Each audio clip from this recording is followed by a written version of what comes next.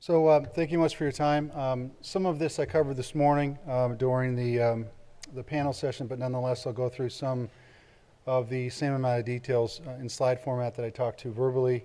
Uh, but just very quickly on CDI as an organization, um, acquired by Fujifilm a couple years ago out of Madison. You can see based on employees, very sort of heavily biased towards um, R&D staff, production and quality. Um, and um, again, the major focus of the organization around IPS-derived cell types. Uh, more recently, the company split into two formal divisions. Uh, historically, the life sciences division was the backdrop of CDI, providing differentiated cell types from IPS lines for the purposes of research use. And with the advancement of the four clinical programs I'll briefly talk about today, we split that into a, a separate uh, cell therapeutics division, of which I'm a part. Um, but, but again, underlying CDI uh, really are, are four, core tech, four core capabilities with the uh, know-how and technology coming out of University of Wisconsin and Jamie Thomson's work in IPS reprogramming of human cells.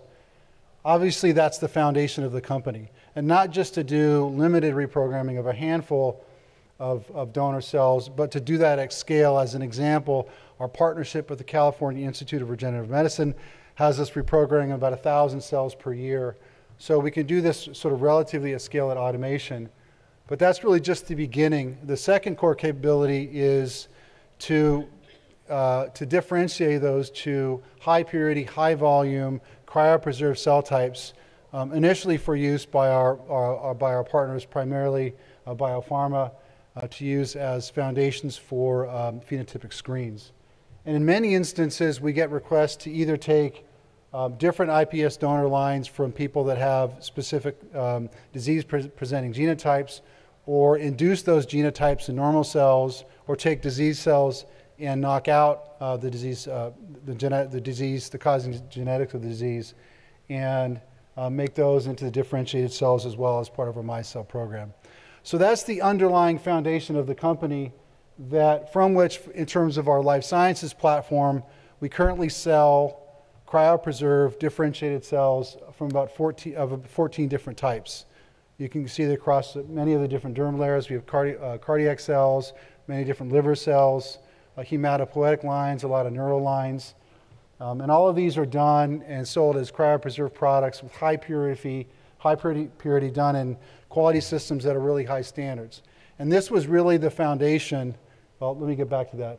So that's really drove a lot of work in the life sciences business, and it's been the, the, those underlying technologies, that underlying process development capability, and really the personnel um, and their understanding of process development and also regulatory that allowed us to look at this same catalog, to look at our um, personnel, and to look at the market opportunities and begin making decisions on where do we want to take the, the underlying core technologies and cell types and translate those into clinical cell therapy programs. Um, and in part driven by those decision making criteria, but also by certain partnerships, uh, we centered on, you know, really four different clinical programs, three of which are listed here in this graphic, that being ocular, uh, Parkinson's disease, and cardiac. And I'll spend a minute uh, with each of those programs talking about where we are. Uh, but in terms of our sort of therapeutic regimen, um, with iPS cell iPS cells themselves, you know, iPS for autologous is really not something that's explored. Um, it's an interesting concept, but iPS cells themselves obviously lend themselves to a really an allogeneic approach. Um, and simply put, you can have you know a couple of different strategies using iPS um, cells and their uh, corresponding differentiated cell types as the foundation for your therapy. One is sort of a true, I'll call it, for lack of a better phrase, uh, immunoblind allogeneic, the second approach, which we, which, which we have taken, is building a library of, of HLA based, based IPS cells to serve as the foundation not only of our clinical programs, but also making these lines available to others for their programs. And so the strategy here is we have a partner that has access to uh, millions of individuals that have been typed. And they've identified several hundred thousand individuals that are homozygous for HLA a, B, and DR, and C generally comes along with linkage. And so, in identifying these individuals, we go through the standard IRB process, and we have sort of a three phase program where the, the, the aim at the end of the day is to really have a therapeutic IPS bank that covers most of the major haplotypes across all the major geographies. That's the end goal at the end of the three, phase, uh, three phases of the project, where you're sort of walking up that asymptotic line there.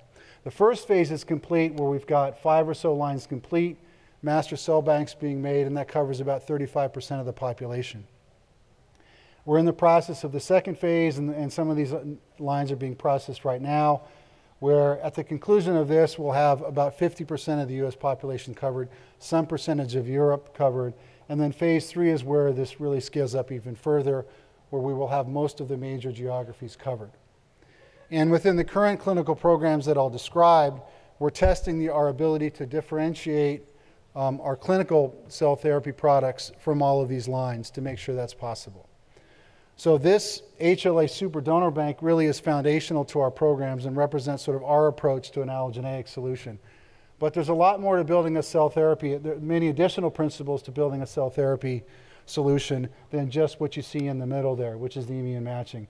Um, as I said this morning, the aim with our program is really to develop cell therapy products uh, that are replacing the disease cell. Uh, and I bring this up because that's decidedly different, for example, than a paracrine type, of, type approach that you might see. Um, obviously, our goal is to achieve um, uh, transfer to cGMP where those process development capabilities allow us to at least to get to materials necessary for phase two, if not say, phase three. And as many of you know, the preclinical models for many of these uh, programs simply don't exist, so there's a lot of effort around that. And the um, the complexities around the surgical delivery also need to be, need to be addressed. So the four programs, and I'll briefly go through all of these except for the last one, which is still in the earlier stages. Um, they are ocular. Um, as I mentioned earlier, that's spun out into a majority owned subsidiary called Opsis Therapeutics. Uh, initially focused on AMD, partnered with the NEI, um, and then following on with some work in uh, retinopathies because of the photoreceptors. Uh, the cardiac programs, neurodegenerative, and oncology. Uh, those first three are either in definitive animal studies or about to go into definitive animal studies. On the CAR T side, we're really just getting to a process where we can confirm, and I'm not going to talk any more about the CAR T in, a, in slides, so let me briefly address that. So, where we are with that is ensuring that we can develop um, phenotypically accurate T and NK cells, that we can make CAR constructs, and that we can combine those in our iPS derived T cells to show efficacy in vivo initially in mice. So that was really the starting point, um, and, the, and the status of the, um, of the oncology program. Now, Parkinson's, and I'm not going to go through all of this, I'm, I'm going to fly through some summary points on all of this. Um, but as many of you know, uh, Parkinson's has a history, um, albeit spotted, of having some proof uh, with fetal derived cells and I think what our aim was, as I said, is, is to develop the right cell that have the right characteristics, uh, the right phenotypic and marker characteristics, and ensure that um, they show the right response um, in the initial in vivo models. And to date, we've shown uh, positive long-term engraftment in both, in both, rat and monkeys, and the amelioration of some induced uh, phenotypes in rat uh, some Parkinsonian phenotypes where they sort of run in circles and you can ameliorate that over time. In this case, it was six months. So that's the, that's the Parkinson's program. The cardiac program, similar content on the left, so let me just focus on the right hand side for a minute. Uh, cardiac is an interesting one because we have, um, I think, the luxury of isolating cell candidates along the differentiate along the timeline of differentiation. That is, candidate one is really a cardiac progenitor cell. And this is an interesting candidate because while your dose may be lower, um, it'll, it'll expand um, in vitro, in vivo.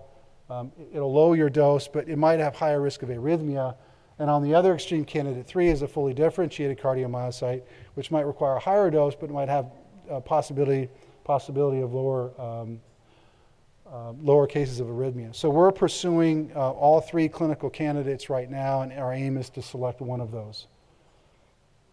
The ocular program, as I mentioned, was really initially seeded with a partnership with the National Eye Institute, where um, our initial goal was to take their preliminary protocol for, for, for making retinal pigment epithelial cells and spend about a year to make that ready for cGMP production, where we could make sufficient material um, to get into the, um, preclinical studies that are happening right now.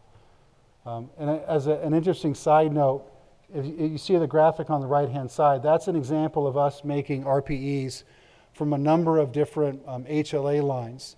And you can see there's uh, not exacting consistency with respect to the purity of those RPEs that get manufactured, which is why we had to invent a purification methodology that effectively normalizes that um, all to a high 95% plus purity level.